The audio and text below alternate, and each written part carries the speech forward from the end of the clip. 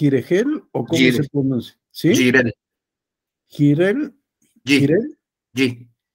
Girel. Sí. Correcto, gracias. Ya luego platicas el origen para que no se enteren todos los demás. sí. Voy a poner la presentación. Gracias. Bien, vamos a, a iniciar una nueva etapa, un tercer diplomado en Derecho Probatorio.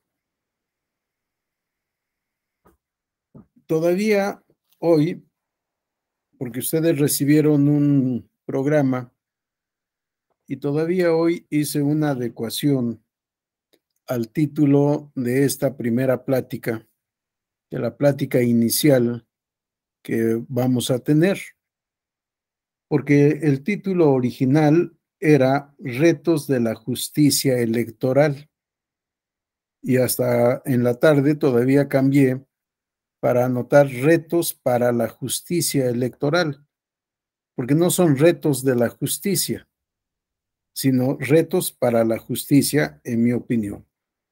Y además decíamos retos de la justicia electoral sobre la verdad factual, la prueba en el proceso y la rendición de cuentas. Todavía no sé a qué se refiere el tema rendición de cuentas.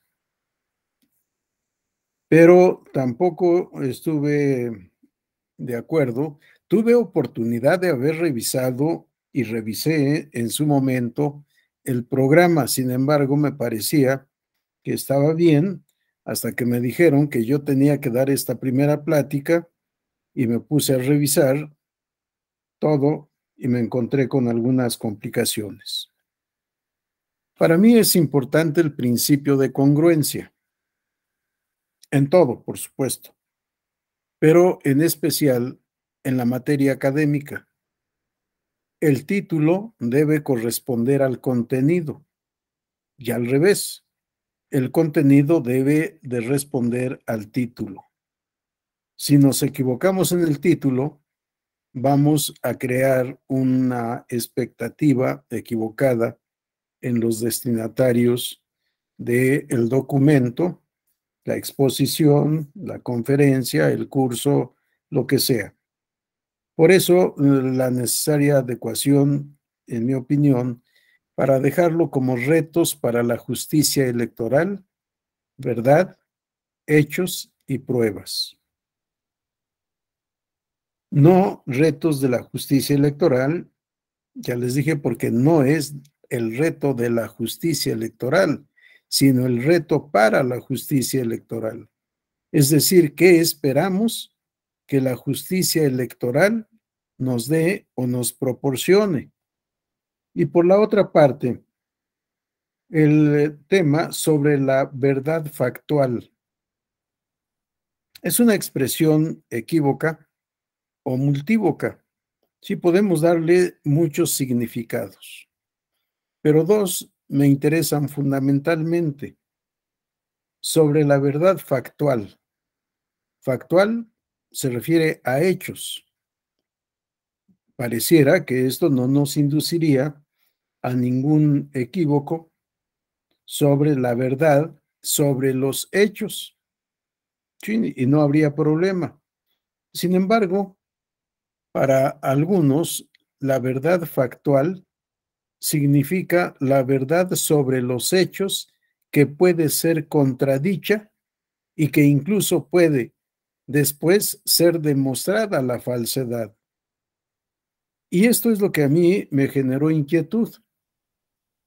Si por verdad factual vamos a entender aquello que puede ser contradicho después o demostrada su falsedad después con otras pruebas, con independencia de que sean pruebas supervenientes o simplemente con una mejor o mayor investigación, me parece que no podemos en el derecho hablar de verdad factual como una verdad que se puede contradecir después con otras pruebas, por un principio de certeza, de seguridad jurídica y además por el principio de cosa juzgada. Una vez que en el derecho hemos dictado sentencia, esa sentencia se torna inimpugnable e inmutable. Es decir, ya no se puede controvertir ante nadie y no se puede modificar por nada y por nadie.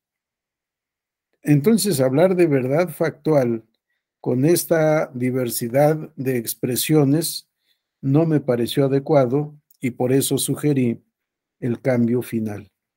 Y suprimí lo de rendición de cuentas, porque no sé a qué se pueda referir en el derecho procesal la verdad de los hechos con la rendición de cuentas, a menos de que entremos a otro ámbito del el derecho y que hablemos, por ejemplo, de la visitaduría jurisdiccional, en donde el visitador puede revisar lo que haya hecho el tribunal o el juzgador en su caso, encuentre anomalías y que estas anomalías puedan ser objeto de estudio, de investigación en un procedimiento administrativo del cual pueda derivar una responsabilidad administrativa y en consecuencia la imposición de sanciones o medidas disciplinarias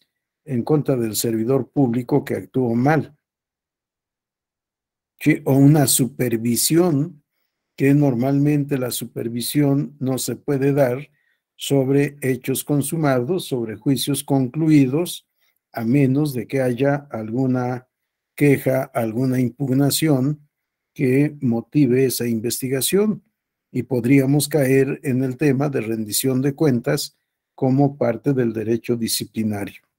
Pero, insisto, estaríamos en otro ámbito del derecho, en otro ámbito jurídico, que no es el que nos interesa. Por eso, el cambio de título e incluso el cambio de título a última hora para cambiar de la por para retos para la justicia electoral y como estamos en derecho probatorio, aquí sí hablar de verdad, de hechos y de pruebas. Cuando alguien tenga algún comentario, alguna duda, alguna observación, levante la mano o simple y sencillamente abra su micrófono y con mucho gusto puede intervenir.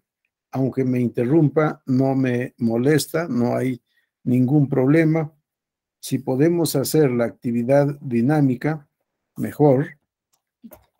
La interactuación de ustedes conmigo y yo con ustedes, mejor todavía.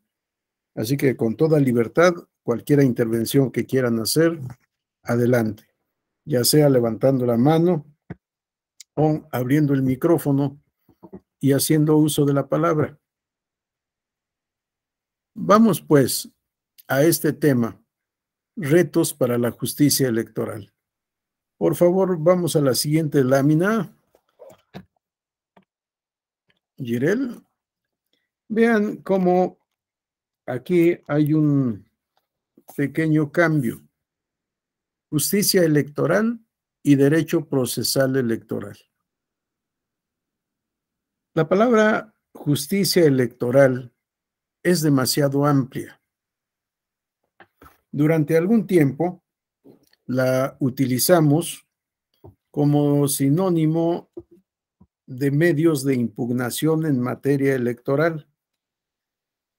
Incluso, si revisan el título de nuestra revista, órgano oficial de difusión del tribunal, conserva el título Justicia Electoral, que fue impuesta en 1994, si no mal recuerdo, o pudiera ser inclusive antes. No existía la expresión derecho procesal electoral y usábamos como un sinónimo la expresión justicia electoral. Sin embargo, con el transcurso del tiempo, en mi opinión, la justicia electoral se ha ampliado demasiado. La justicia electoral ya no equivale a derecho procesal electoral, que nunca ha tenido este equivalente, pero así lo usamos en tiempo pasado. La justicia electoral se ramifica en varios, eh, varios aspectos, en varios temas. Si pensamos en delitos electorales y en derecho procesal electoral penal, estaremos abarcando un apartado de la justicia electoral, delitos y, por supuesto, sentencias. Para llegar a la sentencia tenemos que pasar por el proceso. Proceso penal electoral, parte de la justicia electoral. Pero también tenemos el tema de los conflictos o controversias entre los servidores públicos del Instituto Nacional Electoral y los servidores públicos del Tribunal Electoral del Poder Judicial de la Federación con las respectivas instituciones. Los trabajadores del Instituto Nacional Electoral con su instituto, los trabajadores del Tribunal Electoral con el tribunal. Tenemos conflictos o diferencias laborales que se tienen que resolver mediante el juicio laboral correspondiente con independencia de su denominación y forma parte de la justicia electoral. Y si hablamos de procedimientos administrativos sancionadores, ya sea el ordinario o el especial, estamos hablando también de justicia electoral. Y si hablamos de acción de inconstitucionalidad para controvertir la constitucionalidad de una norma o de una ley electoral local o federal, hablamos también de justicia electoral. Sí, de tal manera que la expresión justicia electoral se ha ampliado mucho. Tiene distintas vertientes. Hablamos ahora del derecho administrativo sancionador electoral. Les decía del derecho penal electoral, del derecho procesal penal electoral, del derecho laboral electoral y por supuesto del derecho procesal laboral electoral. Y nosotros no abarcamos todos esos aspectos, sino nos quedamos en el derecho procesal electoral. Por eso también la propuesta de cambio de título para retos para el derecho procesal electoral. Nos quedaremos en ese contexto y de todo el derecho procesal electoral en este diplomado, únicamente lo relativo al derecho probatorio, al derecho relativo a las pruebas. Si me da tiempo, al final haré una referencia al derecho probatorio para en este momento continuar con la exposición como la había yo propuesto en la presentación. Si hablaremos de retos para el derecho procesal electoral. Vamos por favor a la siguiente lámina. ¿Qué es o cómo se define el derecho procesal? Esta definición me gusta y ya volveremos a ella también en unos minutos. Me parece sumamente interesante. Aldo Bacre en su libro Teoría General del Proceso, nos dice que el derecho procesal es la rama del derecho que tiene por fin analizar la actividad que desarrollan el órgano jurisdiccional, los auxiliares, partes y terceros en la necesidad de alcanzar la creación de una norma particular a través de la sentencia que ponga fin al litigio y logre la paz social. Una definición en pocos renglones de un altísimo contenido académico, teórico y práctico. Rama del derecho, rama del derecho público, por supuesto. Que tiene por fin analizar la actividad que desarrolla en el órgano jurisdiccional. Si ya estamos concentrando la actividad del Estado únicamente en los órganos jurisdiccionales. Jurisdicción que proviene de las raíces latinas juris dicere, decir el derecho. Decir el derecho para poder resolver un litigio. Y entonces nos dice Aldo Bacre, el derecho procesal tiene por objeto analizar o regular, depende de el punto de vista. Aquí cuando decimos analizar, estamos viendo al derecho procesal como ciencia del derecho. Si viésemos o estudiáramos el derecho procesal como derecho normativo, diríamos que tiene por fin regular la actividad que desarrollan el órgano jurisdiccional, los auxiliares del órgano jurisdiccional, secretarios, actuarios, mecanógrafos, etcétera, todo lo que necesite el juzgador para poder cumplir la función que le ha encargado el Estado. Las partes, normalmente actor y demandado. Los terceros, tercero coadyuvante o tercero interesado. Y nos dice para alcanzar la creación de una norma particular, influencia seguramente de Hans Kelsen. Hans Kelsen nos dice la sentencia es la norma jurídica individualizada. La norma jurídica para las partes litigantes en el caso concreto. Dice Kelsen, dictar sentencia no solo es aplicar el derecho. Se aplica el derecho, entiende Kelsen por derecho, conjunto de normas jurídicas, se aplica el derecho que es conjunto de reglas abstractas al caso concreto para resolver un litigio y crear la norma del caso particular. La sentencia es norma jurídica individualizada. Es norma jurídica que vincula jurídicamente a las partes litigantes. Resuelve el litigio para las partes litigantes, aunque esto también es una verdad relativa porque puede ser también con relación o con efectos para terceras personas. Y pone fin al litigio. Y esta última parte que me parece sumamente interesante, la paz social. ¿Cuál es la finalidad?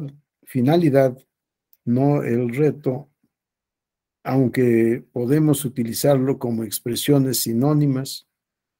¿Cuál es la finalidad del derecho procesal? Restituir la paz social.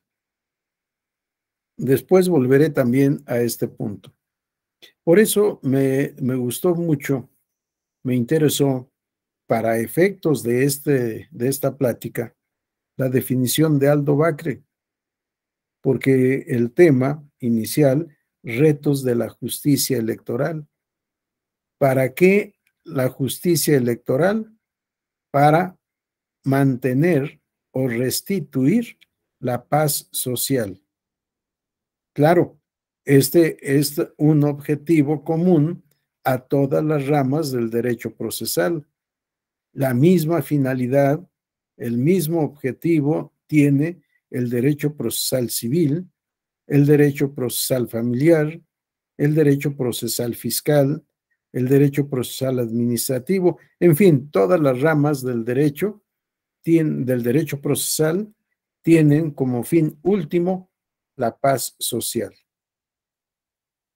Vamos a la siguiente lámina, por favor. Yo defino de manera sencilla el derecho procesal como rama o apartado del derecho público que tiene por objeto directo y exclusivo al proceso. Una definición fácil de entender, de memorizar, de reproducir y de explicar su contenido. Vamos a la siguiente lámina, por favor. ¿Cómo defino el proceso?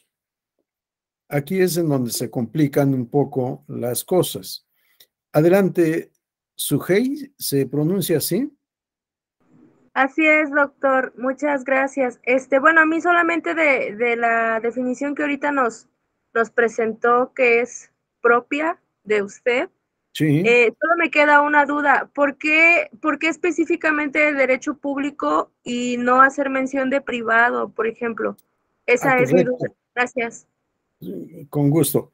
Regresamos, por favor, a la lámina anterior, Girel. Porque derecho procesal es la rama o apartado del derecho público. Si el derecho procesal pertenece al derecho público. Esto eh, rememorando, por supuesto, la triple eh, partición del derecho o clasificación del derecho. Al derecho, como decías, Sujei, se divide en derecho público y derecho privado. Y algunos lo dividen en derecho público, derecho privado y derecho social, para dejar en el derecho social al derecho del trabajo, al derecho agrario y algunas otras ramas en donde no siempre hay coincidencia, pero derecho del trabajo y derecho agrario quedan en el derecho social. En el derecho público está ubicado el derecho procesal. ¿Por qué en el derecho público y no en el derecho privado? El derecho privado es para los gobernados. Ahí está el derecho civil, ahí está el derecho familiar, ahí está el derecho mercantil. Y en el derecho público encontramos el derecho constitucional, el derecho fiscal, el derecho electoral, el derecho administrativo y el derecho procesal. ¿Por qué el derecho procesal en el derecho público? Lo explicaré en términos de lo que dijo Oscar von Bullock en 1868. Imagínense, hace más de 150 años. Nos dijo, el derecho procesal es derecho público porque interviene el Estado a través del órgano jurisdiccional. Por eso es derecho público y no derecho privado. Si el derecho privado regula las relaciones entre particulares. Y en el derecho procesal interviene el Estado por conducto del órgano jurisdiccional. E incluso se dice que el proceso es una instancia proyectiva, porque no hay una relación inmediata y directa entre actor y demandado, sino que la relación entre actor y demandado se da por conducto del tribunal. El actor acude al tribunal, el tribunal en su caso admite la demanda, notifica y emplaza al demandado, el demandado contesta la demanda por conducto del tribunal y toda la relación va de esa manera. Si hay terceros, el tercero ocurre al tribunal y el tribunal notifica a las partes. Si hay un tercero interesado, tercero coadyuvante, el tratamiento es similar, todo por conducto del el tribunal. El tribunal es el órgano rector del proceso. Es el órgano de autoridad el que vincula a las partes con autoridad, con potestad coactiva inclusive. Por eso el derecho procesal es rama del derecho público y no del derecho privado. Espero haber contestado la pregunta y que Sujei quede con su pregunta contestada, si es que está de acuerdo, y si no, escucho comentarios. No, doctor, de, bueno, de mi parte le agradezco la, aclaración y sí me queda claro por el por qué eh, se le considera parte del derecho público y no del derecho privado. Gracias. con gusto, El problema está en explicar qué es el derecho público. Sí, dar una definición de derecho público es difícil. Yo he tomado la definición de que derecho público es el derecho del Estado. El derecho que se refiere o que tiene por objeto el surgimiento, organización y funcionamiento del Estado. ¿Cómo surge el Estado? A partir de una constitución. El derecho constitucional es derecho público. ¿Cómo se organiza el Estado? Pues ya veremos a través de las leyes correspondientes, leyes orgánicas, cómo se organiza el Estado, aparte de todo lo que está previsto en la Constitución. En la Constitución se establecerá si es una república o una monarquía, si es un sistema presidencialista o semipresidencialista, si es un sistema parlamentario, si es un sistema, en fin, todo lo vamos a encontrar en este derecho constitucional y luego en las leyes orgánicas. No me voy a meter más a estos temas que son, por supuesto, importantes necesarios, pero que nos desviarían de nuestra finalidad. Bien, esto para mí, y tratando de ser breve, he propuesto, entre otras, esta definición. Vamos al concepto de proceso, por favor, la lámina siguiente. Proceso, conjunto sistematizado de hechos, actos y procedimientos jurídicos de las partes directamente interesadas, de los terceros ajenos o vinculados a la relación substancial, sustantiva y o procesal, y del órgano jurisdiccional competente, cuya finalidad consiste en resolver, mediante la aplicación del derecho, un conflicto de intereses de trascendencia jurídica calificado por la pretensión de una parte y la resistencia de la otra parte. Ese es mi concepto de proceso que pueden leer en mi libro Derecho Procesal Electoral Mexicano, sobre todo en la segunda edición. Desafortunadamente mi libro no está actualizado, quedó actualizado hasta 2006. A la fecha eh, hay desactualización, pero los conceptos básicos generales de la, la explicación que se contiene sigue siendo aplicable salvo los nuevos criterios que se han ido estableciendo en el transcurso de los años, tanto por la Corte como por el Tribunal Electoral en su jurisprudencia. Esta definición amplísima la he reducido. Van a que, va a quedar a su disposición esta presentación, así que no necesitan escribir todo. Vamos a la siguiente lámina, por favor. Esta definición la he reducido a estos renglones. Proceso es el conjunto sistematizado de hechos, actos y procedimientos jurídicos del órgano jurisdiccional, las partes y los terceros para resolver un litigio mediante la aplicación del derecho. La mayoría de los autores señalan que la resolución del litigio es conforme a la ley no, para mí no es suficiente la ley. Es necesario el derecho en su integridad.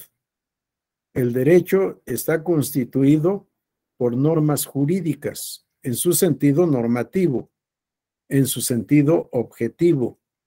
Normas jurídicas que están en la ley, están en la costumbre, en la jurisprudencia en los tratados internacionales y especialmente para nuestra materia, los tratados internacionales tuteladores de derechos humanos y están en los principios generales del derecho.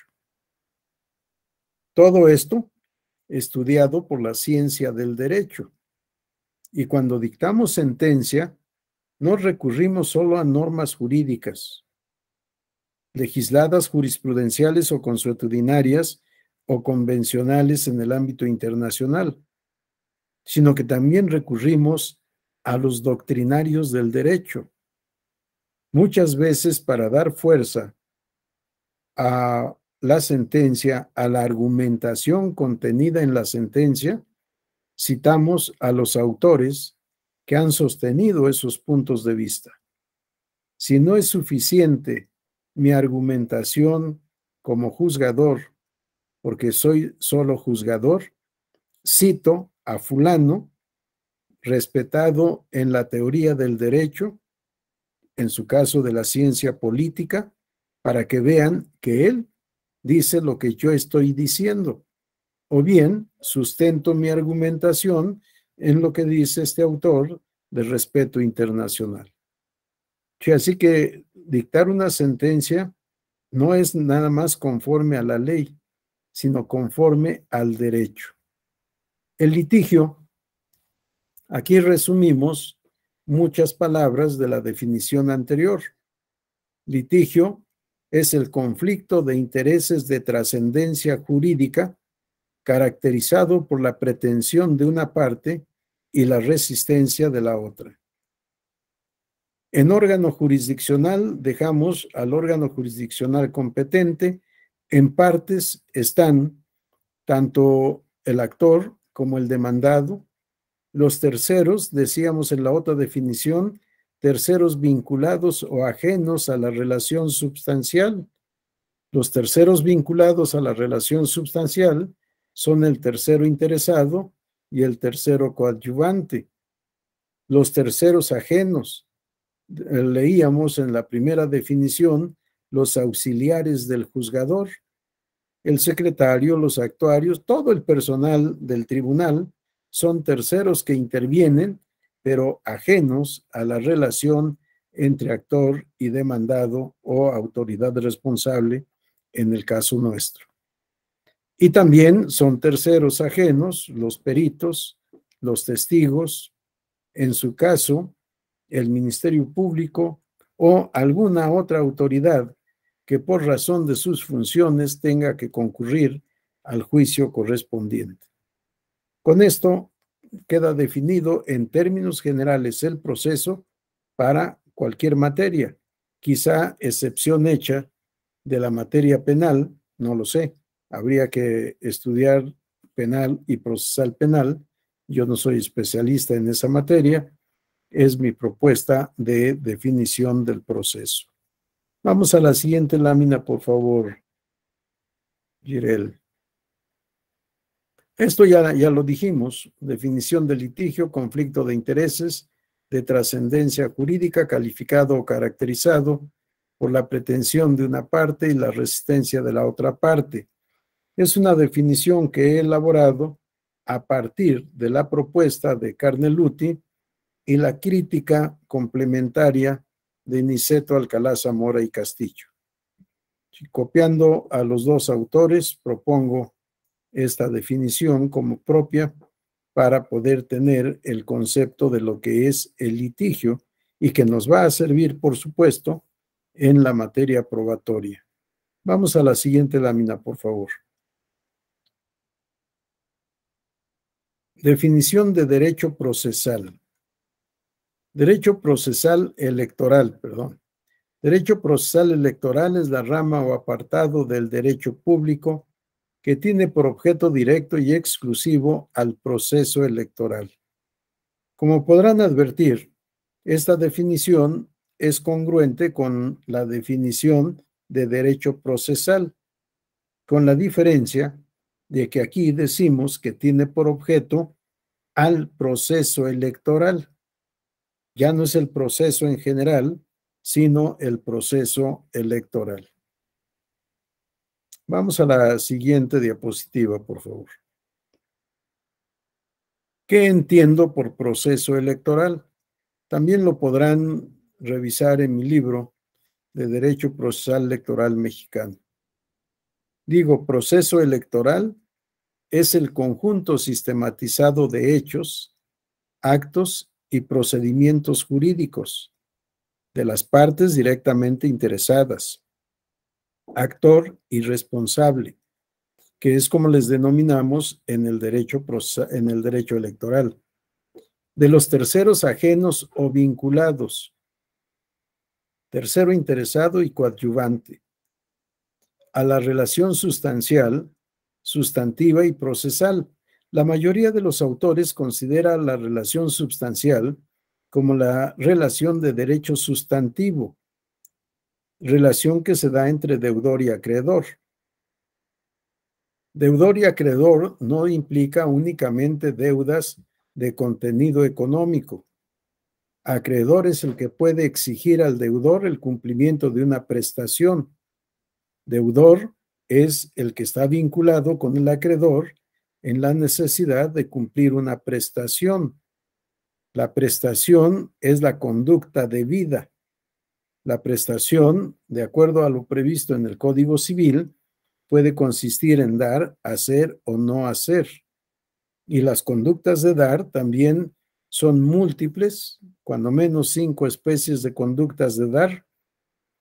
Si revisamos el contenido del artículo 2011 del Código Civil Federal. No vamos a entrar a este tema, que quede enunciado únicamente. Así que la relación sustancial es sustantiva, pero yo pienso también que la relación sustancial es de naturaleza procesal. ¿Cuál es la relación sustancial fundamental o más importante en la materia procesal? La relación que se da entre actor y demandado.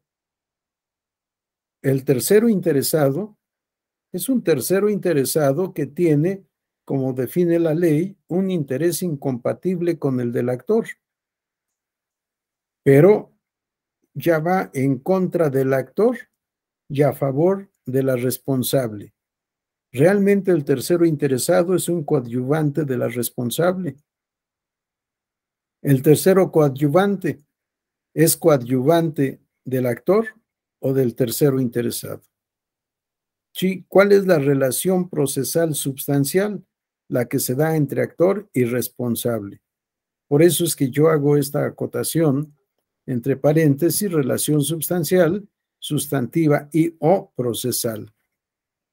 Actos, hechos y procedimientos del órgano jurisdiccional competente, el Tribunal Electoral, con independencia de que sea el Tribunal Federal o un tribunal local, cuya finalidad consiste en resolver, mediante la aplicación del derecho, un conflicto jurídico de intereses de trascendencia político-electoral.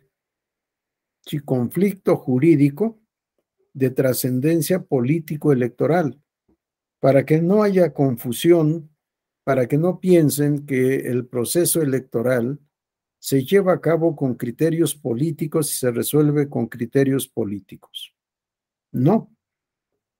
Es un conflicto jurídico que se resuelve jurídicamente también.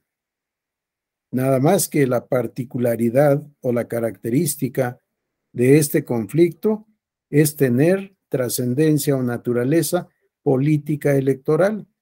El derecho en el derecho electoral convergen la política y el derecho. Por eso es que hablo de conflicto de intereses jurídicos de trascendencia político-electoral, calificado el conflicto por la pretensión del actor o impugnante y la resistencia de la parte responsable. Aquí me equivoqué al dejar la palabra parte en una mala ubicación calificado por la pretensión del actor o impugnante y la resistencia de la parte responsable. O pueden colocar la palabra antes del actor, de la parte actora o impugnante y la resistencia de la responsable. Ahí la computadora jugó conmigo en lugar de que yo jugara con la computadora y me ubicó mal la palabra, no sobra. Pueden ponerla en cualquier parte de este renglón bien colocada y no hay ningún problema. Es más, creo que no, no voy a poder corregir porque esta, creo que solo es una copia, es una imagen, no, no se podrá corregir. Bueno, seguimos a la otra diapositiva. En el momento en que surja algún comentario o duda de ustedes, levanten la mano o abran el micrófono. No tengo ningún inconveniente. El resumen de todo lo que dije en la diapositiva anterior. Esto sí no está escrito todavía en ninguna parte de los libros que he escrito. Definición de proceso electoral. Proceso electoral es el conjunto sistematizado de hechos, actos y procedimientos jurídicos del órgano jurisdiccional electoral competente, las partes y los terceros para resolver un litigio de naturaleza político-electoral mediante la aplicación del derecho. Si todo litigio, todo juicio, toda controversia en materia electoral tiene que ser resuelta conforme a derecho. Adelante, José Carlos. ¿Qué tal? Buenas tardes, doctor. Buenas eh, tardes. Bueno, una, inquietud solo que, quisiera compartir. En este caso, veo que del, concepto, este, pues viene referido más hacia órganos jurisdiccionales. ¿Podría, en dado caso, este, esta definición enriquecerse también añadiendo a órganos administrativos o hasta ahí nos enfocaríamos y el de los procedimientos ante órganos administrativos quedarían como en una variante de, proceso electoral. Correcto, gracias José Carlos. Tienes razón, los procedimientos no son procesos. Sí, los procedimientos son procedimientos. Los procesos son procesos. Perdón la, la expresión. En el proceso, decíamos hace unos minutos, se da una relación proyectiva o relación triangular, en donde tenemos un órgano jurisdiccional que es ajeno a la litis, ajeno al litigio, un tercero imparcial. En los procedimientos no hay relación triangular. La relación en un procedimiento es horizontal. Por ejemplo, un procedimiento sancionador. El procedimiento sancionador inicia con una queja o denuncia. El órgano administrativo investiga y resuelve. Hay infracción, impone sanción. No hay infracción, determina en su resolución que no hay infracción y por tanto no es el caso de imponer una sanción. Pero esta relación administrativa o este procedimiento administrativo lo vemos con mayor facilidad en los recursos administrativos. Por ejemplo, el recurso administrativo de revisión ante el Instituto Nacional Electoral no es un proceso, es un procedimiento e incluso yo digo es un procedimiento autocompositivo. El recurrente, el que promueve la revisión, le pide al órgano superior jerárquico del responsable que revise lo que hizo el inferior, que modifique porque lo hizo mal, o que revoque, o que anule. Y el órgano competente para resolver la revisión revisa y en su caso revoca, modifica, anula o confirma. No es la pretensión del actor, del, perdón, del recurrente, la confirmación, pero puede ser. No hay un tercero interesado ajeno, sino que es la propia autoridad, el propio Instituto Nacional Electoral en la revisión administrativa, el que revisa sus actos. El hecho de que sea un superior jerárquico no cambia la naturaleza del procedimiento, porque es el mismo órgano de autoridad, el mismo Instituto Nacional Electoral. En cambio, cuando vamos ante el tribunal, ya el tribunal no es el instituto, es un órgano distinto y es un órgano jurisdiccional, un tercero imparcial que va a aplicar el derecho a favor de quien corresponda en el enfrentamiento de intereses. Dice Calamandrei que el litigio es como una lucha o como diríamos ahora, como una pelea de box, en donde uno y otro se golpean y los dos quieren ganar y gana el que dice el juez, a menos de que haya knockout, bueno, ahí ya no hay nada que diga el juez, ya los hechos demostraron quién ganó y no, no hay más que la declaratoria. Sí, no, proceso y procedimiento son dos temas distintos. ¿sí? Y cuando hablamos de órganos jurisdiccionales, hablamos de proceso, o al revés. Cuando hablamos de proceso, hablamos de órganos jurisdiccionales.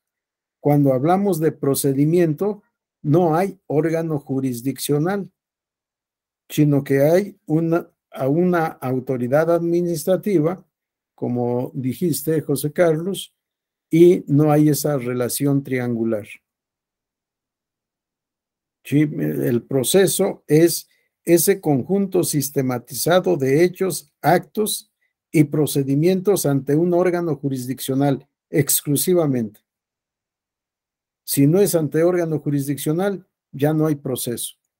Y yo incluyo hechos, actos y procedimientos, porque el probatorio, por ejemplo, es un procedimiento.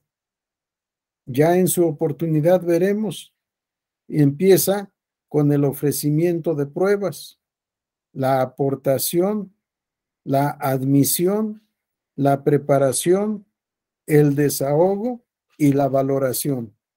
Sí, es un procedimiento que tiene sus etapas, que tiene sus reglas.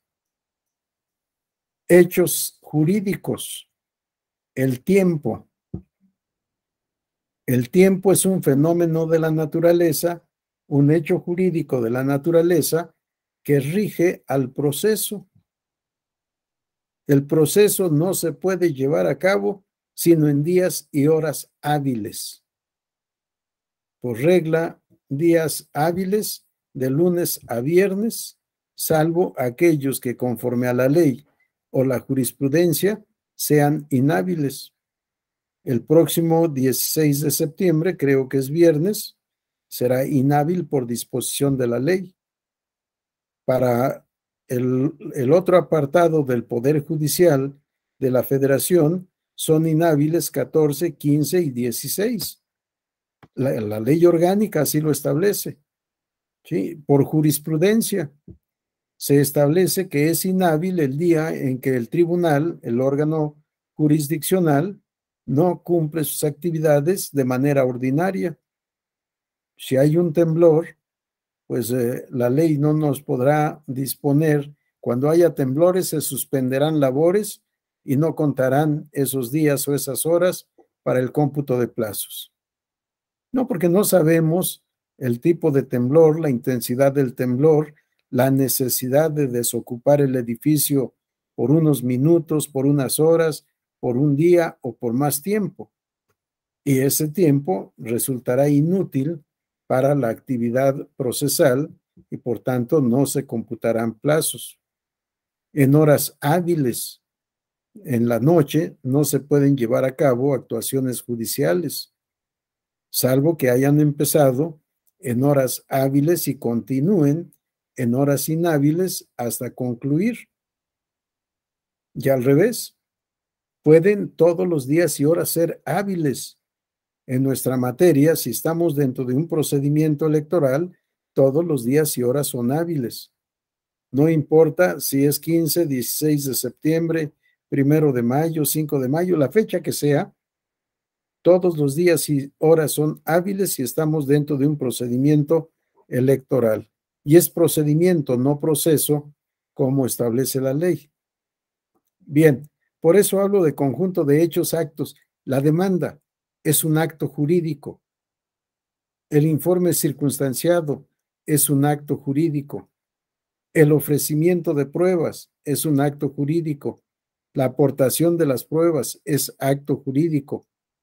La sentencia es un acto jurídico.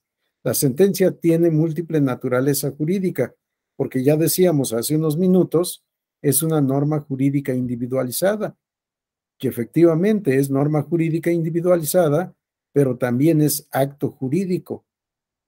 Es un acto jurisdiccional es un acto jurídico del órgano jurisdiccional y muchas veces es también un documento y muchas veces es discusión y decisión.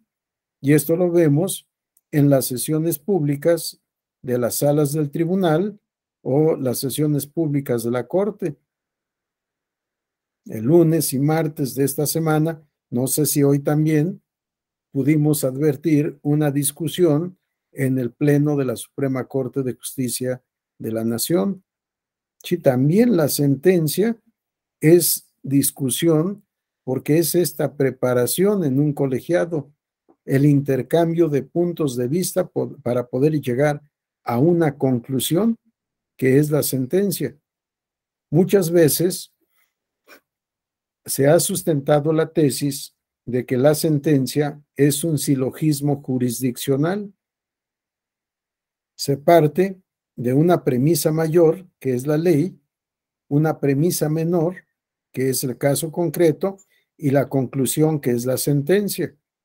Por eso les decía, después de la discusión, la conclusión, la sentencia que parece, no tuve oportunidad de escuchar la sesión, así que no, no sé qué pasó, la sentencia que se pudo haber dictado por el Pleno de la Suprema Corte en esas acciones de inconstitucionalidad, 130 y 136 acumulados.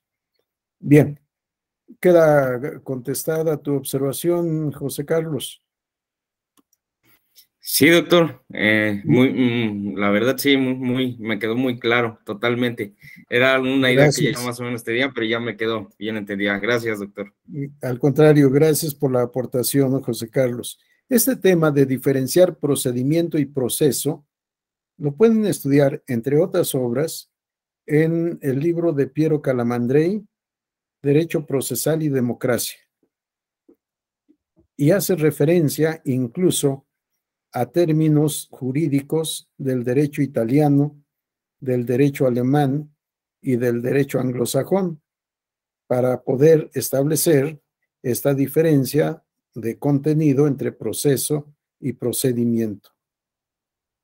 Es un tema que yo trato también en mi libro, ahí está expuesta la diferencia, nada más que yo lo hice hace, hace, hace muchos años más de 20 años, y no había leído en esa época a Piero Calamandrei.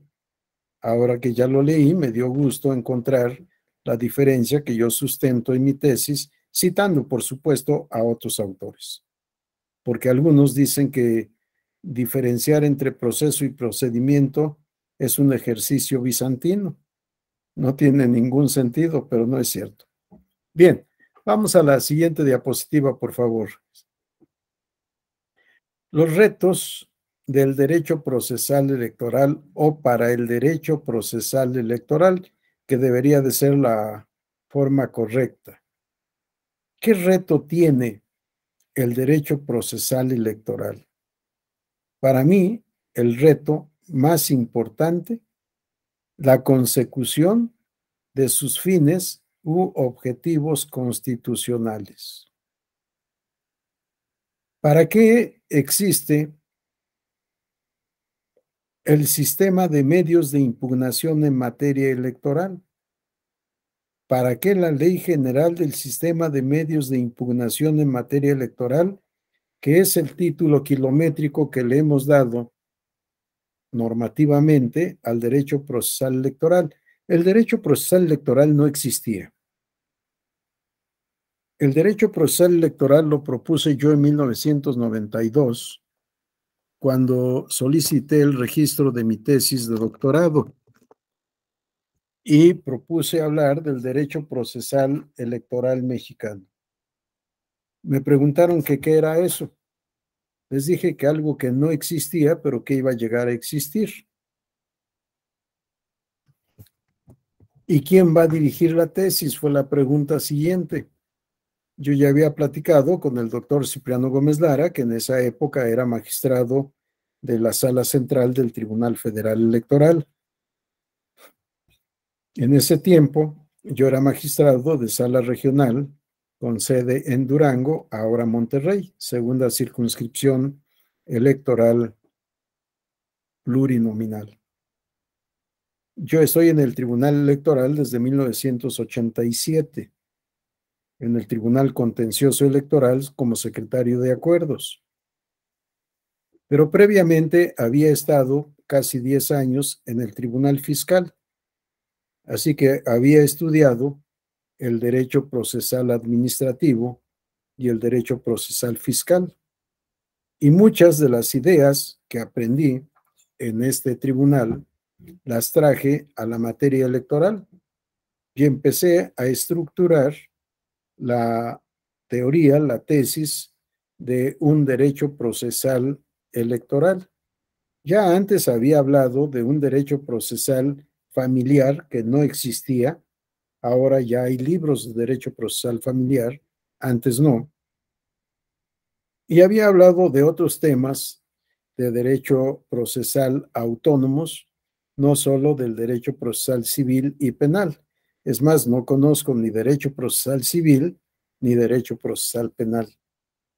Y por eso mi idea de un derecho procesal electoral.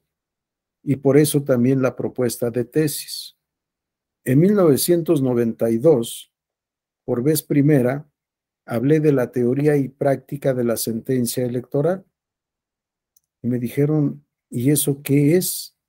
Eso no existe. Si revisamos el Código Federal Electoral de 1987, vamos a encontrar que a lo que se refiere es a resoluciones del Tribunal Contencioso Electoral. Resoluciones. Y si revisamos el Código Federal de Instituciones y Procedimientos Electorales de 1990, vamos a encontrar la palabra resoluciones del Tribunal Federal Electoral, la palabra sentencia, la palabra demanda. Es más, hasta ahora no existe en nuestra ley general de instituciones y procedimientos electorales, perdón, la ley general del sistema de medios de impugnación en materia electoral, no existe la palabra demanda. Sí, lo que, de lo que hablamos es del recurso, recurso de apelación, recurso de reconsideración, recurso de revisión del procedimiento especial sancionador, y aunque hablamos de juicio de inconformidad, juicio para la protección de los derechos político-electorales del ciudadano, juicio de revisión constitucional electoral, no hablamos de escritos de demanda, no hablamos de demandante. En la práctica ya empezamos a hablar de enjuiciante, de accionante, pero son palabras que estamos trayendo al derecho procesal electoral y que no era lo habitual. Hablábamos de recurrente y hablábamos de escrito recursal, nunca de una demanda. Sí, cuando yo elaboro esta tesis, se empieza a hablar de derecho procesal electoral y ya en 1993, 1994, algunos tratadistas como don Sergio García Ramírez, el doctor Héctor Fix Amudio y no recuerdo quién más, empezaron a hablar de derecho procesal electoral. Es una rama nueva que tenemos actualmente ya como algo ordinario, como algo común. Pero bueno, vean cómo todavía en el título de nuestra conferencia, retos para la justicia electoral, no se habla de retos para el derecho procesal electoral. Esta es una modificación que yo hice para esta sesión. ¿Cuáles son los retos? Alcanzar los objetivos constitucionalmente previstos. ¿En dónde están previstos estos objetivos? Fundamentalmente en el artículo 41, párrafo tercero, base sexta de la Constitución Federal. Legalidad, constitucionalidad y definitividad. Y los tenemos reproducidos en la Ley General del Sistema de Medios de Impugnación en materia electoral, en, si no mal recuerdo, el artículo tercero. Creo que no traje la ley para esta sesión. No, la, la dejé en otra parte. A ver. A ver si está aquí. No, no, no la tengo. Pero, en fin, podrán ver en este artículo, si me equivoco en el número, si no es el tercero, podrán ver cómo para garantizar la legalidad y la constitucionalidad se establecen los siguientes medios de impugnación y va enumerando cada uno de los medios de impugnación que tenemos previstos en la Ley General del Sistema de Medios de Impugnación en materia electoral. Sin embargo, en la jurisprudencia hemos ampliado estos objetivos o finalidades. Vamos a la diapositiva siguiente, por favor.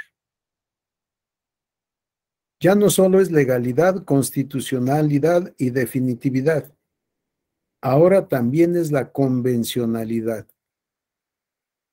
Los tratados tuteladores de derechos humanos, naturaleza de la que, de la que comparten los derechos político-electorales, los derechos político-electorales son derechos humanos, los tratados tuteladores de derechos humanos los empezamos a aplicar en sala superior, perdón que me incorpore, yo era secretario general de acuerdos cuando empezamos, fue en el año 2000.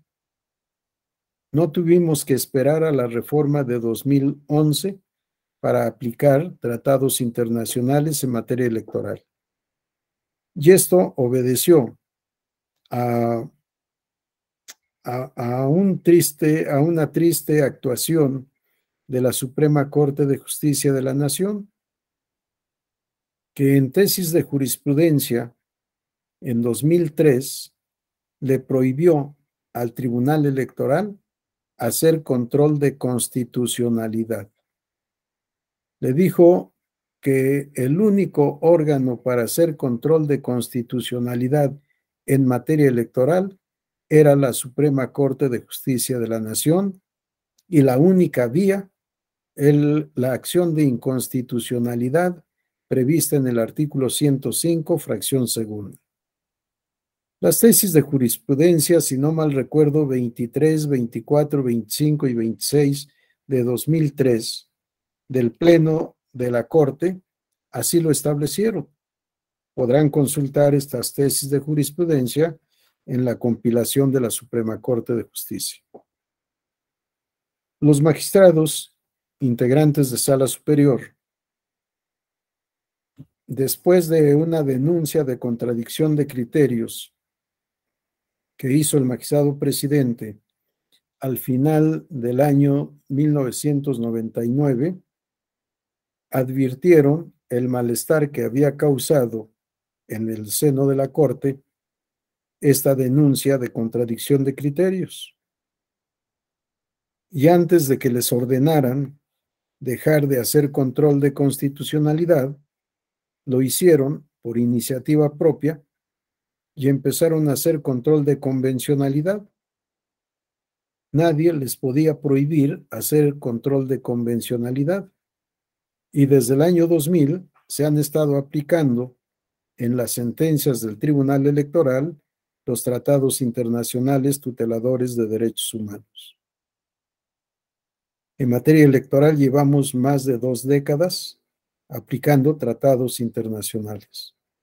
Y por eso, en la jurisprudencia, aquí hablo de consecución de sus fines u objetivos constitucionales y jurisprudenciales. En la jurisprudencia hemos agregado el control de convencionalidad. Y para eso está fundamentalmente el recurso de reconsideración, aunque actualmente todos los órganos jurisdiccionales deben hacer control de convencionalidad. Ya no solo son los tribunales federales, sino absolutamente todos los tribunales. Incluso, yo me atrevo a decir que también las autoridades administrativas tienen el deber de hacer control de convencionalidad por mandato del artículo primero constitucional, establece todas las autoridades en el ámbito de su competencia. Por tanto, si son todas, pues tienen que ser todas, administrativas, jurisdiccionales, legislativas y obviamente los órganos con autonomía constitucional que llevan a cabo funciones administrativas. Vamos, por favor, a la diapositiva siguiente. Yo resumo todo en esta reflexión. En singular, reto, fin u objetivo del derecho procesal electoral. Garantizar la vigencia plena del principio de juridicidad de los hechos, actos y procedimientos en materia electoral. Para la vigencia plena del sistema democrático electoral, con paz social y respeto a los derechos humanos. Le había puesto con paz social y dignidad, pero como la palabra dignidad pudiera no ser demostrativa de lo que quise decir, le cambié a respeto a los derechos humanos. Los derechos humanos están basados en la dignidad humana y están formulados para el respeto de la dignidad humana. Garantizar la vigencia plena del principio de juridicidad. En juridicidad abarco todo el ámbito jurídico previsto en la Constitución, en los tratados, en las leyes, en los reglamentos, en los convenios, en la jurisprudencia, en los usos, en la costumbre e incluso en los principios generales del derecho. Cuando uso la palabra juridicidad, es todo el derecho. Jurídico conforme a derecho de todos los hechos y actos, procedimientos en materia electoral para la vigencia plena del sistema democrático electoral. No voy a toda a todo el sistema democrático, porque para mí la democracia, la democracia integral, implica democracia política, democracia económica, y democracia social. Y todavía no alcanzamos esta democracia integral, ni corresponde al derecho procesal electoral, ni al derecho electoral, ni a los tribunales electorales, no les compete garantizar el sistema democrático integral. Esto corresponde también a el poder legislativo y al poder ejecutivo. Al poder ejecutivo, que es el que gobierna o administra al Estado. No podemos hablar de un sistema democrático en donde hay un 50% de pobres del total de la población. No podemos hablar de un sistema democrático en donde hay tanta deficiencia educativa como la que tenemos en México. No podemos hablar de un sistema democrático en donde hay tantas diferencias sociales como las que tenemos en México. Por eso, conceptualmente, me reduzco en cuanto a derecho procesal electoral al sistema democrático electoral con paz social y respeto a los derechos humanos. Si recuerdan el concepto que nos da Aldo Bacre de derecho procesal, él habla de paz social. Y este es el fin último, es lo que debe buscar el derecho electoral, la paz social. Antes de que existieran los tribunales electorales, y ya existiendo los tribunales electorales,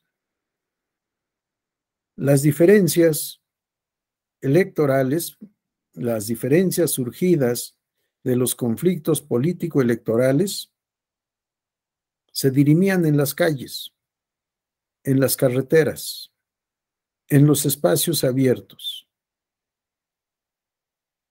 Era común la toma de palacios de gobierno, de palacios legislativos, de palacios municipales, de carreteras, de plazas, plazas de armas, o zócalos de cada entidad, manifestaciones.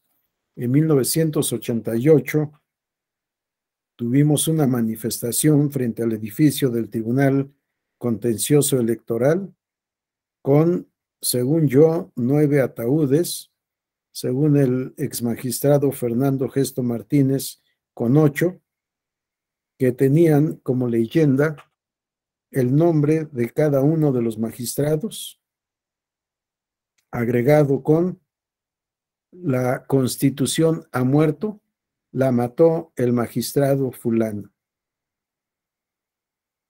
Y el discurso diario, a toda hora y a todo volumen. Vimos todavía en 2006 la toma de paseo de la reforma, formas de protesta por la no conformidad con los resultados electorales. Poco a poco hemos ido entrando a la cultura de la juridicidad. Poco a poco se ha ido aceptando que las diferencias o conflictos derivados de las elecciones se deben resolver en los tribunales. Y se ha ido aceptando y acatando las sentencias de los tribunales electorales. Actualmente ya no vemos estas manifestaciones. Llegamos a tener manifestantes que frente a la sala superior se cosían los labios para dar a entender a todo mundo que había, que no había libertad de expresión, a pesar de toda la libertad que tenían de expresarse como quisieran o pudieran. Todo esto forma parte ya del anecdotario político. Los tribunales electorales han traído paz social.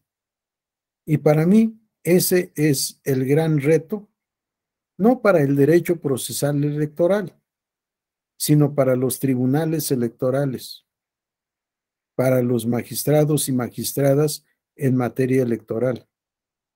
Aplicar el derecho de tal forma que garanticen la vigencia plena del sistema democrático electoral, que garanticen la paz social y el respeto a los derechos humanos.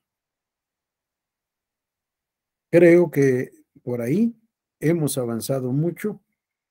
Este es el gran reto que los juzgadores en materia electoral tienen frente a sí y que si alcanzan ese objetivo, esa finalidad, el derecho procesal electoral habrá cumplido su función social.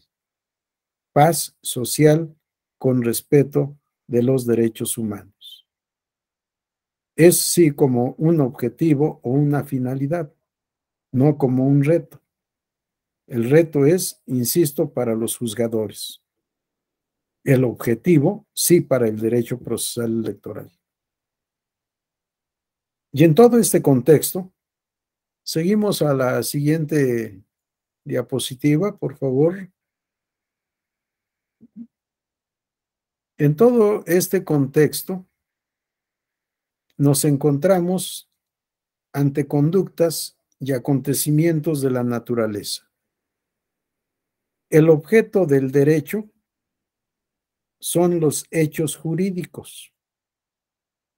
Cuando al principio hablábamos de prueba factual, decíamos prueba de hechos. ¿Sí? El objeto del derecho son los hechos jurídicos. ¿Qué es el hecho jurídico? Yo defino de manera sencilla y esto lo tengo escrito en mi reciente libro, Conceptos Jurídicos Elementales, publicado por Tirandlo Blanche, el hecho jurídico en sentido amplio o lato sensu no es otra cosa que la concreción del supuesto normativo. La norma jurídica está integrada con dos elementos, la hipótesis y las consecuencias. Hipótesis, lo que puede suceder. Consecuencias, creación, modificación, transmisión o extinción de derechos y deberes. El hecho jurídico en sentido amplio, de acuerdo a la tesis francesa del acto jurídico, se divide en dos, actos jurídicos y hechos jurídicos en sentido estricto. Los hechos jurídicos son hechos de la naturaleza y hechos de las personas, dicen casi todos los autores. Yo digo hechos de los sujetos de derecho, porque hay muchos sujetos de derecho que no son personas.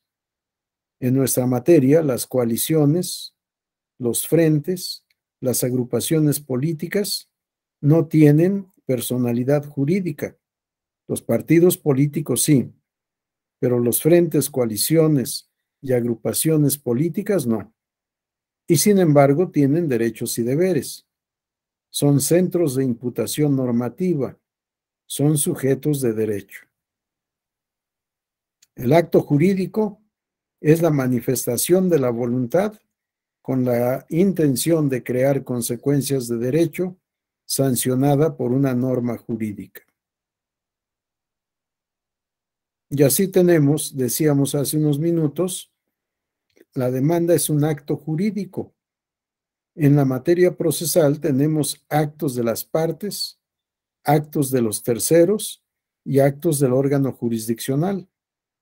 Actos jurídicos, manifestación de voluntad. La principal manifestación de voluntad del actor es su demanda. La principal manifestación de voluntad del responsable es su informe circunstanciado. El acto supremo del órgano jurisdiccional, la sentencia, sentencia de fondo o sentencia de mérito. Ya en otros cursos hablaremos de todos estos temas. Por una parte, este sería el objeto del derecho, pero por otra parte, vamos a la Siguiente diapositiva. Por otra parte, el objeto del derecho son las relaciones jurídicas intersubjetivas. Muchas veces, de manera innecesaria y tautológica, cuando definimos el derecho normativo, decimos conjunto de normas jurídicas que regulan la vida del hombre en sociedad, como si el hombre pudiera no vivir en sociedad. Los que viven aislados son excepcionales. La regla es que todos los seres humanos vivimos en comunidad. Decía Aristóteles, creo que 400 años antes de Cristo, que el hombre es un zoón politicón, un ente que vive en la polis, que vive en la ciudad que vive en el contexto de un Estado. Acuérdense que de Grecia hablamos de las ciudades-estado. Y en esta situación se llevan a cabo relaciones entre todos los entes de derecho. Relaciones de carácter jurídico. Hay todo tipo de relaciones. Las que nos interesan las que son objeto del derecho son las relaciones jurídicas, es decir, las relaciones de las que surgen derechos y deberes. Lo normal, lo ordinario, es que todos cumplamos nuestros deberes para poder ejercer nuestros derechos. Viviríamos en paz social, viviríamos con tranquilidad, no viviríamos con los sobresaltos con que vivimos en este país sometido a la fuerza de la violencia, de la delincuencia, de la pobreza, de la inseguridad jurídica, de muchas circunstancias que ya no son normales. Lo normal es que cada uno cumpla sus deberes como gobernante y como gobernado, y por tanto que podamos ejercer nuestros derechos sin obstáculos, sin impedimentos, sin problemas. Pero cuando no todo mundo cumple sus deberes, surgen lo que he denominado las relaciones jurídicas anómalas. Vamos a la siguiente lámina. Relaciones jurídicas intersubjetivas las clasifico en regulares o normales y relaciones irregulares o anómalas. Relaciones de patología social. Esta situación irregular surge por la conducta antijurídica de alguien. Conducta antijurídica que tenemos que arreglar para restituir al orden normativo, al orden jurídico.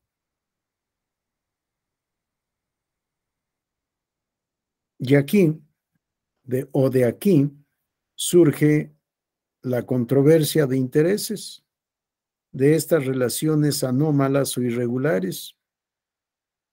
Controversia de intereses que es causante, entre otras, del proceso. Del proceso que ya definimos con antelación y en consecuencia del contexto procesal o derecho procesal que también ya hemos definido con antelación. Vamos a la siguiente diapositiva, por favor. Y en todo este tema procesal requerimos de la prueba, de la prueba procesal. Sin embargo, también es importante pensar que la prueba no solo tiene trascendencia en el derecho procesal. Vamos a la lámina siguiente. Todavía no he podido encontrar una definición satisfactoria de derecho probatorio, porque la prueba está en el derecho sustantivo, en el derecho procesal y en el derecho procedimental. Aquí a lo que te referías, José Carlos, procedimientos. Sí, el derecho yo lo divido en sustantivo y formal, y al derecho formal lo divido en derecho procesal y derecho procedimental. Nada más que el derecho procedimental, que se refiere a procedimientos, puede estar tanto en el ámbito legislativo como en el administrativo y en el jurisdiccional. En materia familiar, cuando promovemos un divorcio, bueno, ya eh, actualmente en la Ciudad de México el divorcio incausado pues realmente no es controversial, porque basta la petición de uno o la petición de los dos integrantes del vínculo matrimonial para que se disuelva el matrimonio. Pero seguramente en los estados todavía hay lo que se denomina el divorcio necesario y el divorcio voluntario. Yo les digo que todo divorcio es necesario, no hay divorcio innecesario. Si fuera innecesario, tendrían que estar loquitos la pareja que fuera a demandar el divorcio. Señor juez, vengo a demandar un divorcio innecesario. Oiga, pues si no lo necesita, ¿para qué viene? No, hay divorcio controversial y divorcio no controversial. Divorcio en el que existe controversia y en el que no existe controversia. El llamado divorcio voluntario, que no es voluntario, sino no litigioso o no controversial, pues en ese caso realmente no hay un juicio, no hay un proceso, es un procedimiento. Vamos ante el juez porque así se establece en la ley, debe ser ante el juez. O bien, cuando un menor de edad tiene que salir del país y alguno de los progenitores o no está en lugar conocido o se niega a dar autorización para que el menor pueda salir del país. Y vamos a pedirle al juez de lo familiar que en sustitución del otro progenitor dé autorización para que el menor pueda salir de vacaciones al extranjero. Suplencia de consentimiento, normalmente paterno, puede ser materno también. Esto es un procedimiento, no es un proceso. Así que los procedimientos también se dan ante el órgano jurisdiccional, lo que denominamos jurisdicción voluntaria. En el poder legislativo, el procedimiento legislativo, la iniciativa, discusión, aprobación en la Cámara de Origen y luego la discusión y en su caso aprobación en la Cámara Revisora y después el envío al Poder Ejecutivo para que el presidente sancione o vete el trabajo del legislativo. Si sanciona, viene el acto de promulgación y la orden de publicación. Si se publica, vendrá el inicio de vigencia. Es un procedimiento, procedimiento legislativo. Nuestro procedimiento electoral, etapa preparatoria o de preparación de la elección, jornada electoral, resultados y declaraciones de validez, y en su caso, el cómputo, nacional de la elección de presidente de la República, calificación de la elección de presidente y en su caso declaración de validez o nulidad de la elección. Si se declara la validez, viene el otorgamiento de la constancia de mayoría y validez, si todo un procedimiento. Procedimiento es el conjunto sistematizado de hechos y actos para la consecución de un fin específico. Cuando dije actos, no dije actos jurídicos, porque el procedimiento no necesariamente tiene que ser jurídico. Para hacer un pastel tenemos que seguir un procedimiento. Y obviamente no es un pastel jurídico, aunque lo haga un abogado o una abogada. Es, es un pastel como cualquiera otro. Pero hay que seguir procedimientos. Cuánto de cada sustancia, cómo combinar todas las sustancias, en fin, un procedimiento para mí complejo e inentendible. Nunca he podido hacer algo de estas maravillas que se hacen en la cocina. Bien, la prueba no solo está en el derecho procesal, la prueba está en el derecho sustantivo y está fuera del derecho. Cuando hablamos de hipótesis en las ciencias exactas, ¿sí? perdón, pero me quedé leyendo lo que me dijeron, que si puedo compartir la presentación, por supuesto que sí, quedará a disposición de ustedes, salvo que la escuela judicial diga otra cosa. Yo creo que no.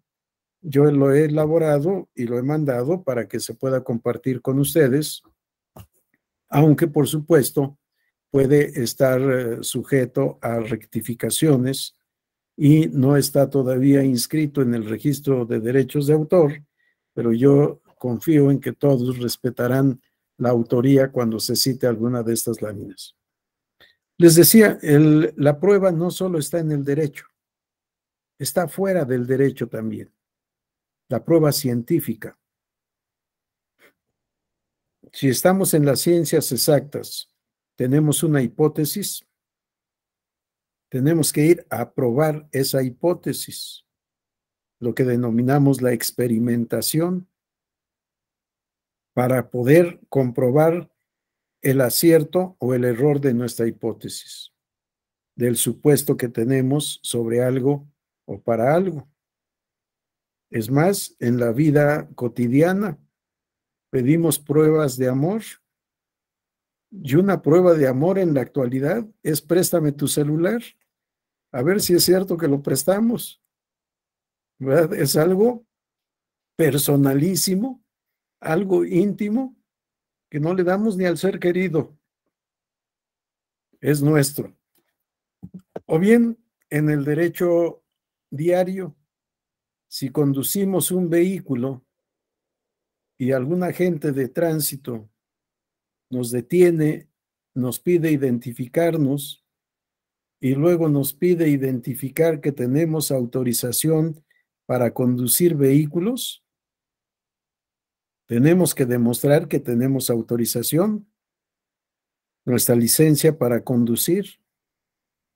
Si llevamos un torto y tenemos licencia para conducir vehículos, pues no es suficiente la prueba y es tanto como no tener licencia para conducir. Queremos comprar, pedimos la prueba de la propiedad de quien pretende vender. Queremos celebrar contrato de servicios profesionales, le pedimos al profesor que acredite su calidad de profesional de la especialidad que estamos contratando. En fin, la prueba se da en todas las materias jurídicas y no jurídicas. Y en lo jurídico, en el derecho sustantivo, en el derecho procesal y en el derecho procedimental. Por eso, hasta ahora no he encontrado una definición adecuada de derecho probatorio. Claro, puedo decir, como dije con el derecho procesal, rama del derecho que tiene por objeto a la prueba. Y sería válido. Y no ubiqué esta rama del derecho en alguna parte en especial. Ni dije rama del derecho procesal, ni dije rama del derecho sustantivo, o rama del derecho público, o rama del derecho privado o social. ¿Por qué? Porque la prueba la vamos a encontrar en todos los ámbitos del derecho. ¿Sí? Por eso esta gráfica que le estoy presentando. Vamos a la siguiente, por favor. La carga de la prueba, esto solo para algunos ejemplos. En materia probatoria, porque este tema, incluso carga de la prueba, creo que es tema de lo que mañana platicaremos. Pero solo para ejemplificar las ideas sobre la prueba. Si el actor no prueba, el demandado debe ser absuelto. Vean nada más la trascendencia de la prueba. Tener un derecho sin tener la prueba correspondiente, dicen algunos autores, es tanto como no tener el derecho. Y aquí, en materia procesal, estrictamente en la materia procesal, si el actor no prueba, el demandado debe ser absuelto. Claro, esto ya no es totalmente cierto en la actualidad. Esto era cuando definíamos a la acción como el derecho de perseguir en juicio lo que nos es debido.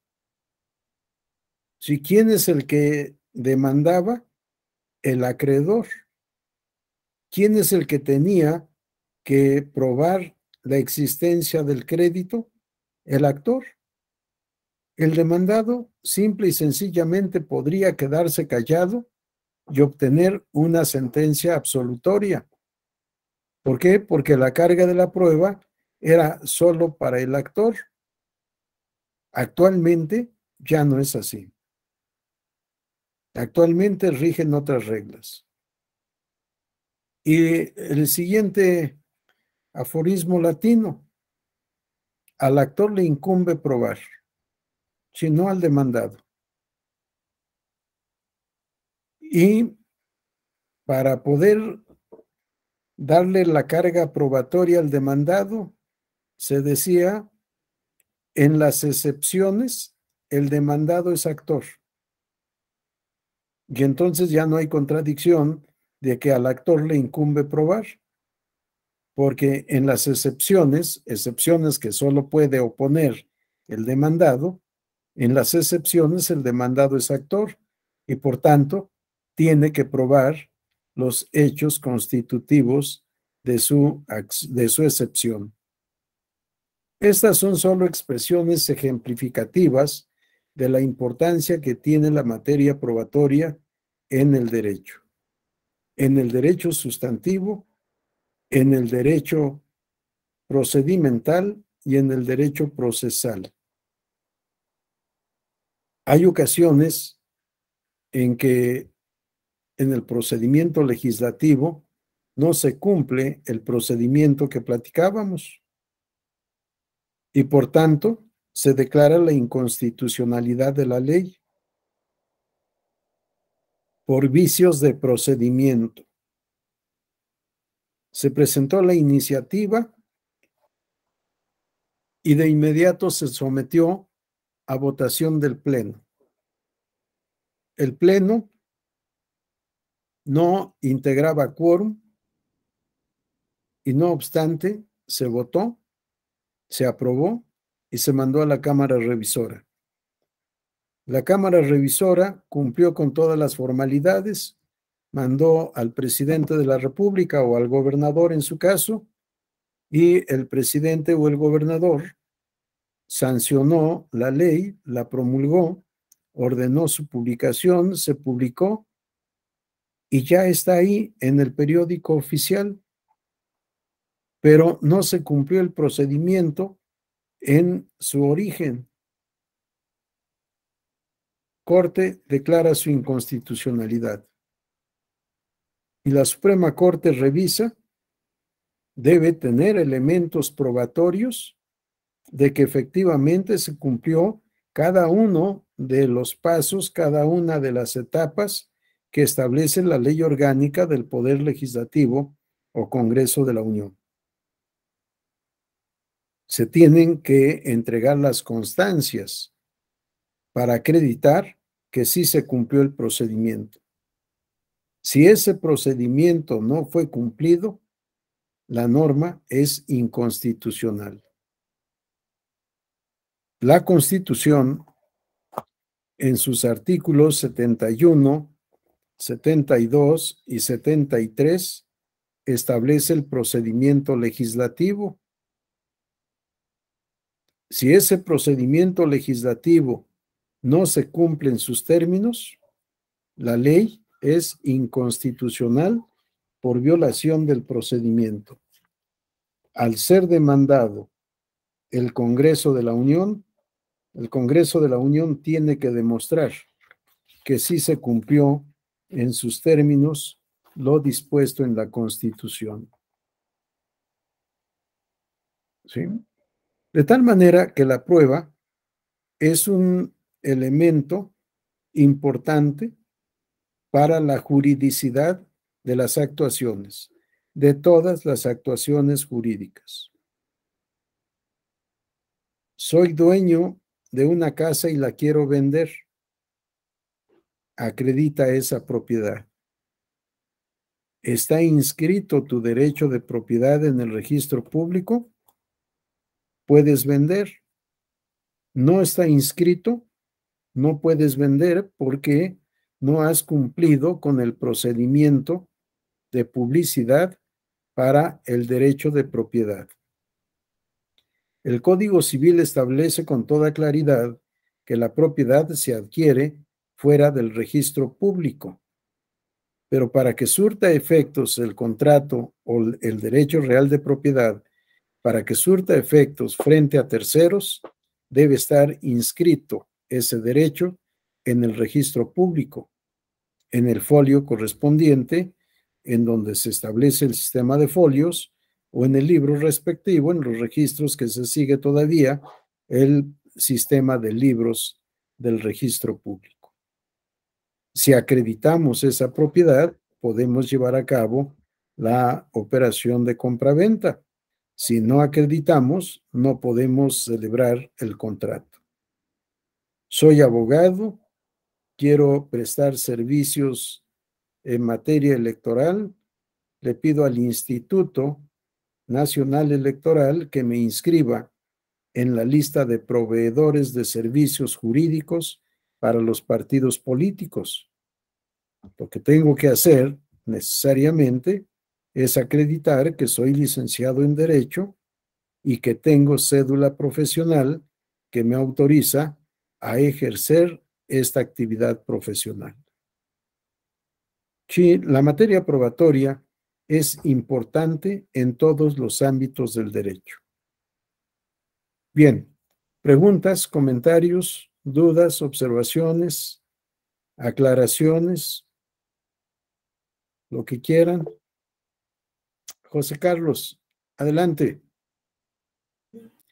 Bueno, aquí de nuevo, este, pues me parece muy interesante esta introducción que, que, nos viene presentando, doctor, y, durante el desarrollo, pues sí me han surgido, este, pues ciertas inquietudes. Por ejemplo, al menos estaba yo tratando de relacionar, este, estos tres aspectos que nos presenta de la prueba, ¿no? Que pertenece al derecho sustantivo, al derecho procesal y al procedimental. De que, de qué manera podríamos nosotros este, formular un concepto que, que trate de abordar estos aspectos muy importantes para que tengamos una definición pues íntegra de la prueba, ¿no? Y este, me venía también la, la idea en este momento, por ejemplo, de retomando este tema de la, de la definición, por ejemplo, cómo, cómo se concibe la prueba, al menos en, en el derecho penal, que de acuerdo a un derecho procesal, atendiendo al derecho procesal, pues la prueba se, reconoce de distintas maneras dependiendo la etapa. ¿Sí, me escucha? Por ejemplo, eh, en la audiencia inicial es dato de prueba, en la audiencia intermedia es medio de prueba y este, en la audiencia de juicio pues es este, la prueba en tal, ¿no? Desahogada, por ejemplo. Yo creo atendiendo a ese o atendiendo al derecho procedimental, pues que el derecho, eh, la prueba a través del derecho procedimental, como usted lo comentaba, podría ser esa serie, ese instructivo o esa manera de admitir, desechar, valorar, desahogar la prueba, ¿no? Eso es lo que nos podría decir el derecho procesal. Y el sustantivo, eh, pues cómo valorarla, ¿no? En sí, como usted dice, eh, estando afuera ya del derecho, del derecho de los procesos, pues existe. ¿Cuál es el valor en sustancia que, le vas a dar o la definición o el concepto? ¿Qué es lo que va a aportar al, fondo de, lo que se está resolviendo, ¿no? Del litigio. Esas son algunas inquietudes que, puedo compartir y que sí me ha ayudado mucho esta, esta gran presentación. Muy bien, José Carlos. Gracias por tus comentarios. Sujei, adelante.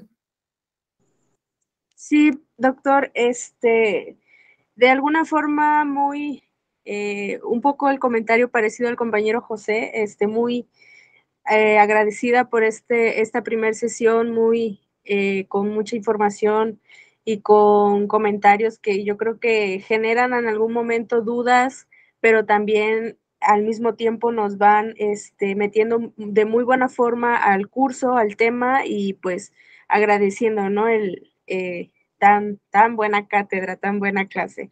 Bueno, yo eh, lo único que quería compartir era como una breve reflexión, un, pequeño eh, paréntesis como de todo lo que nos vino comentando durante la clase, eh, cuando nos mencionaba, ¿no? Esta parte de, que el derecho electoral procesal de alguna forma llega a darnos esta paz, esta tranquilidad al, sistema democrático y pues, nos ponía el ejemplo, ¿no? De que en 2006 cuando tomaron las calles y, bueno, inconformidad con la, con la validez de la elección y todos estos temas que tal vez yo desconozco un poco por mi edad, digo, no es que sea justificación, pero quienes lo vivieron en carne propia o pudieron pasarlo así de vista por noticias, por tele, por periódicos, pues tienen una perspectiva más amplia quizá de la que ya pueda tener.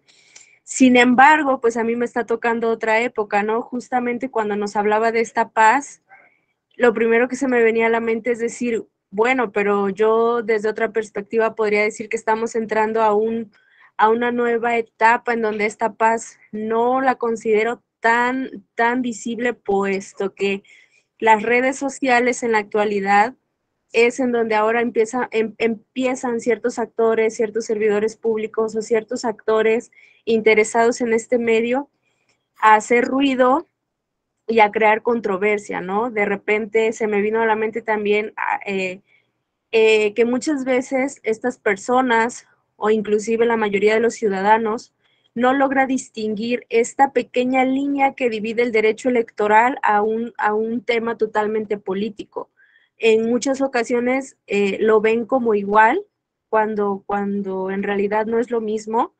Y por ejemplo, también se me vino a la mente justo ayer o antier, no recuerdo qué día fue, que vi un comunicado por parte de los gobernadores de cierto partido político que les decían a la Suprema Corte que por favor consideraran su, su debate en cuestiones de prisión preventiva lo cual a mí me deja muchos comentarios negativos respecto a este comunicado porque pues a veces, repito, no, no logran distinguir esta diferencia entre un derecho electoral, entre las funciones que ya tienen que cumplir cuando ya son electos, entre lo que tienen que proyectar para beneficio de los gobernados, o sea, tantas cosas que se me vienen a la mente con esta plática y que, bueno, desde luego también, como lo comentaba el compañero José, estas diferenciaciones de prueba en materia electoral a otras materias del derecho, lo cual a mí eh, me parece muy interesante porque sabemos que en materia electoral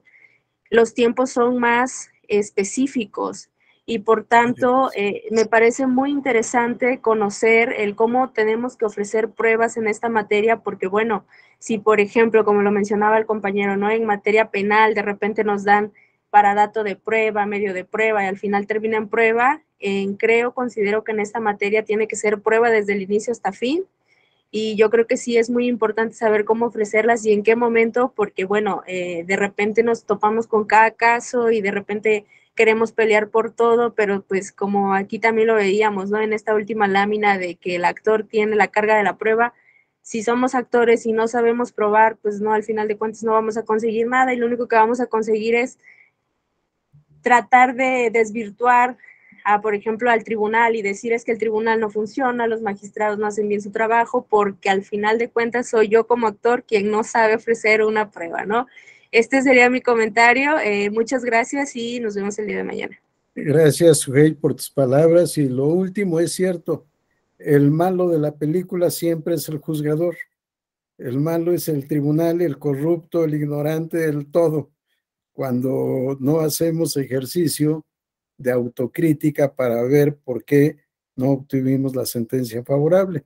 Pero ya platicaremos muchos de estos temas en el transcurso de este diplomado. Adelante, Alfredo. Gracias, doctor. Me da gusto saludarlo por, por esta vía. Eh, simplemente hacer una reflexión en cuanto a la temática de toda la cátedra, que por cierto fue muy clara, muy magistral por parte de usted, doctor. Eh, y, me refiero al, creo que son tres o cuatro eh, diapositivas antes en lo que es el reto fino objetivo del derecho procesal electoral.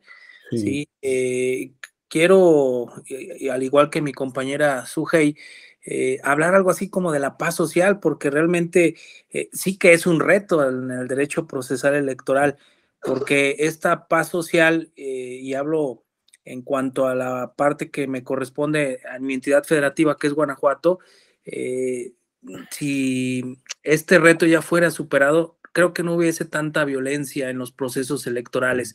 Eh, me tocó ser presidente de un consejo distrital en el pasado proceso y vi compañeros o municipios vecinos, Moroleón, el caso concreto donde a una candidata le privan de su vida, y la semana pasada su hija, que fue la, candidata que continuó con el proceso y, al final ganó, la hija de esta persona que hoy falleció, eh, la atacan nuevamente en, carretera, ¿no? Entonces, eh, creo que ese sí es un verdadero reto para el derecho procesal electoral o, a los procesos, o un reto para los procesos electorales, ¿no? Que tengamos paz social que tanta falta hace.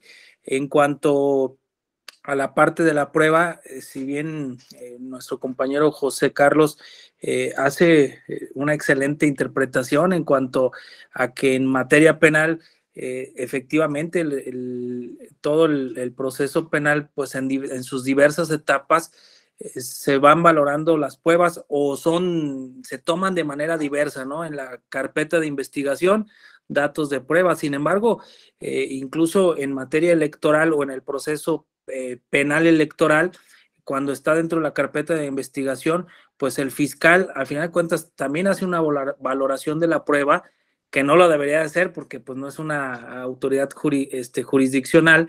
Sin embargo, para el no ejercicio de la acción penal, sí valora las, los datos de prueba, así como se llama, datos de prueba, los valora y determina el no ejercicio de la acción penal, ¿no? Entonces, sí sería muy interesante, o más bien considero que va a ser muy interesante todo este diplomado, maestro, y que más bajo la conducción de usted. Muchas gracias, es cuanto, doctor.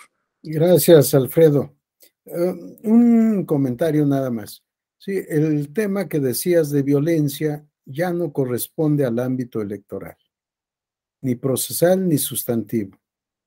Ya es un tema de gobernanza que corresponde fundamentalmente al Ejecutivo, tanto el Ejecutivo federal como al Ejecutivo local, ni siquiera a los tribunales. A los tribunales cuando lleguen las acciones de las acciones penales en contra de alguien o de algunos por la comisión de delitos. Y ahí también la actuación conforme a derecho, que es sumamente difícil en un país como el nuestro. Dedicarse al derecho penal es realmente un acto de heroísmo si se ejerce con ética profesional. Y el Estado debería de hacer mucho más por proteger a los jueces en materia penal. No sé qué tanto tendría que hacer, pero tendría que dar garantías para su vida, para su salud, su integridad y la de su familia. En alguna ocasión, cuando yo fui presidente del Tribunal Electoral, tuve una entrevista con el secretario de la Defensa Nacional y le dije que estaba yo preocupado por el problema de inseguridad. Me dijo, magistrado, no se preocupe, le pondremos escolta. Le dije, señor secretario, ¿y a mi esposa? También. ¿Y a mis hijos? ¿Y a mi papá? ¿Y a mi hermana? ¿Y a mis sobrinas? Me, dijo, oiga, magistrado, no exagere. no, no, secretario, no le estoy pidiendo escolta. Lo que le estoy diciendo es el problema de seguridad nacional que tenemos. El problema de seguridad que necesitamos resolver. No es para mí, es para toda la sociedad, para toda la población. Y eso depende de ustedes, del Ejecutivo y de quienes estén en el contexto de la seguridad nacional. Pero en fin, esos son otros temas, Alfredo, que desafortunadamente están también correlacionados con los que nos corresponden, pero nosotros nos vamos a limitar a la parte que nos ha sido asignada y con mucho gusto nos estaremos viendo mañana y seguramente en otras oportunidades y ya iremos hablando de varios temas del derecho probatorio. Por lo pronto, hoy los dejaré descansar. Son las 8.58 le quedaremos a deber dos minutos al tribunal y a la escuela judicial. Que descansen. Gracias por su atención y nos vemos mañana. Buenas noches, que descansen. Buenas noches. Hasta luego. Gracias.